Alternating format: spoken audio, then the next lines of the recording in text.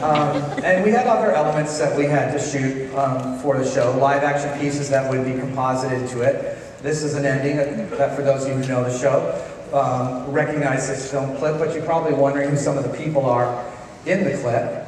And uh, we'll give you a little peek of some of them. Would you like to get into our work?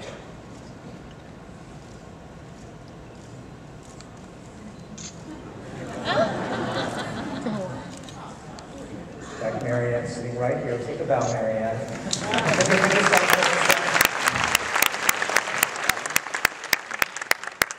It's, it's fun to get. And then we were also shooting the pre-show. So this is what we built on a stage in uh, Los Angeles. And uh, then you'll see how we sort of finished it off digitally. Just added pieces. We wanted to put a lot more um, comedy in the show than we had in the original show, and we wanted to put a lot more show in the show, frankly. I mean, if you think about it, when the original show opened, we didn't have Fast Pass, and all of our show timings were calculated on how long you would be in the queue. But once Fast Pass came along, of course, the standby people were in the rooms longer than intended, which always bugs us. You don't want to hear what we call a rollover. So we decided to lengthen everything. So it's like, let's do 20 minute pre-show and a 20 minute droid room, and let's create all new material for the load corridor with lots of stuff to see so that every time you go, the goal is you can always discover something new in there. Uh, this is Glenn McIntosh. He's the very talented uh, animation supervisor director from ILM. And uh, here we were working out one of the gags for preload with the little pit droids doing a windshield wiping gag. And there's Glenn acting out for Ace for later. Is Scott Sohan, he's the editor on our show here, showing them how to do it. And look at all the ways ILM gave us for windshield wipers. You can have that one. You can have that one. You can have a lefty. You can have that one. Or you can have that one. That's the one we picked. We like that the best. But that was the fun with ILM, is they would actually give us all these choices, saying, okay, you asked for a windshield, so now the guys have come up with a couple variations. It's like, wow. It was really so much fun working with a great group.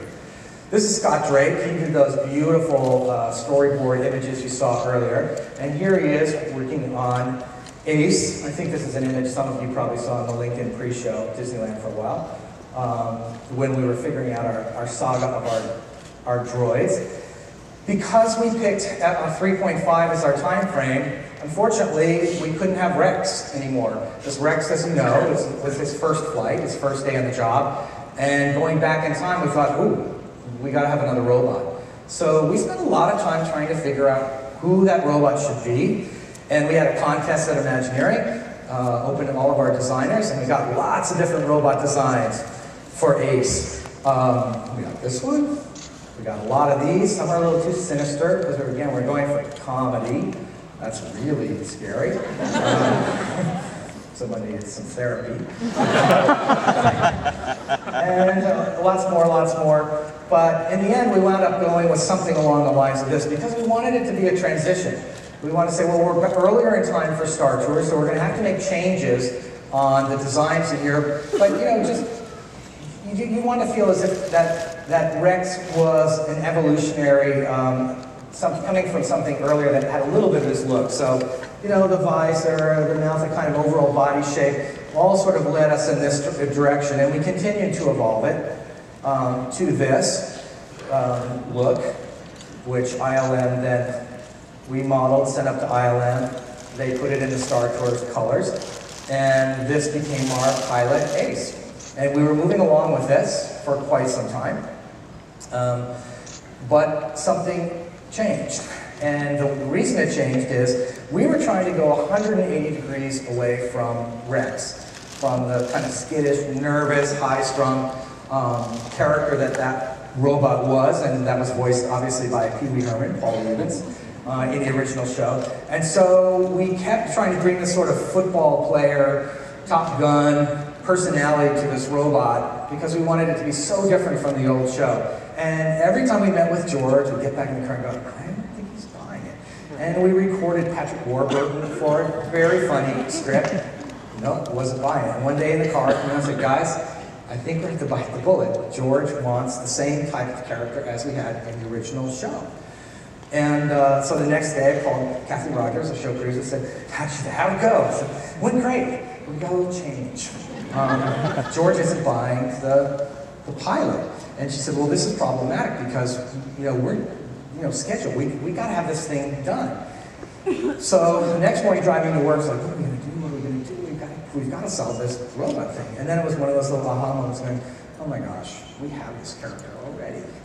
Um, it's C-3PO. He's high-strung, he's nervous, he's comedic. Everybody knows him, so we've got a great shorthand for storytelling. And, uh, you know, came to work and said, guys, we have our robots. What do you mean we're behind schedule? We're never going to make it. It's like, it's C-3PO. Oh, we already have the tooling, because we have a figure in the pre-show. And it's like, well, will it fit? Will it work?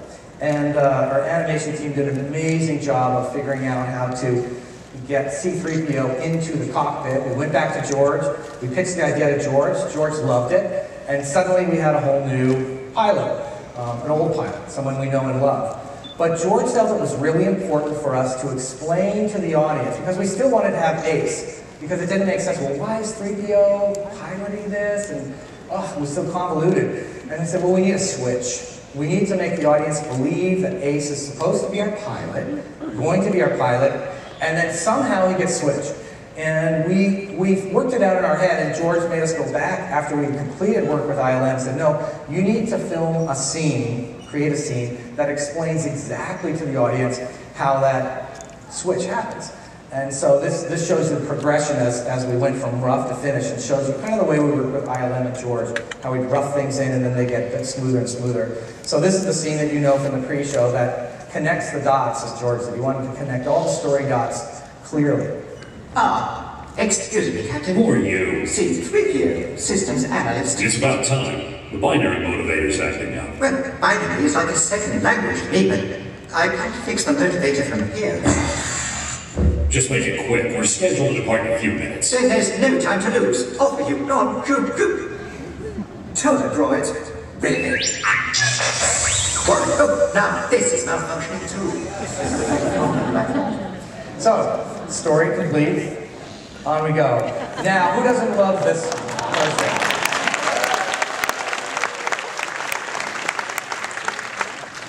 I love this woman, and she was so sweet. And we had so much fun with her doing the original show. We could not find her. Could not find her. We looked and we looked and we looked, and finally the clock ran out, and we had to recast. And I was like, guys, I don't think we can find another person for this. What do you mean? Of course we can. No, no, no, not another person. We need a droid. If we can't have her, let's create a droid and get more Star Wars into the universe. So, ILM gave us some options, and we selected this character. Oops. We selected that character from episode two, I think, from Dex's Diner, and then we gave her the Star Tours look um, with ILM, and said, great, we've got our spoke spot for Star Tours, multilingual, thankfully, because we needed that for our safety skill. And then we tried many, many voices out against this picture, and the one that we loved most was Allison Janney. Um, who you know as Peach and lots of other roles. She was so she was so hysterically fun and so sweet. Um, so we had our spoke spot for Star Tours. And then it was time to get going on the rest of the attraction. Because we had, you know, we had said 3.5 and it's saying 3.5. Suddenly we said, well, we got a lot of changes we need to make to the attraction. Um, and, and we felt it was important to do so, so that when you guys came in and saw it again, it would be familiar, and you say, oh, thank God they didn't ruin it. Um, but it would also be fresh, where you'd say, oh, cool, it's got a new look. Oh, yeah, well, there's Rex. Um, so we started with all, obviously these images. This was a uh, first piece of, of work by Scott Drake to sort of say what the, the pre-show would look like. We decided that like many airlines, you know, United Airlines, they changed the paint scheme. You know, a lot of airlines change their color schemes over time. We decided to flip it. So we said, well, let's put the blue on the inside and the red, I mean the orange on the outside, because blue and orange would be Star Tours colors, and they would always keep those colors. Uh, we decided we needed a whole new status board um, that should have media on it the entire time that you're in the queue, so there's always something to look at and see with new commercials, as we loved the commercials from the past, but thought we needed new ones.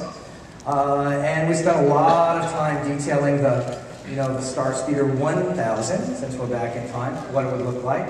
And this is a, a turnaround model that ILM created for us to buy off and say, okay, that's it, so we could go into production.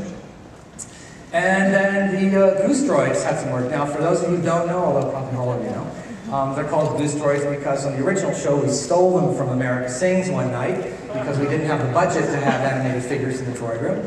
And I don't know that anybody noticed. So the barbershop quartets became trios in America Sings, and we got two droids.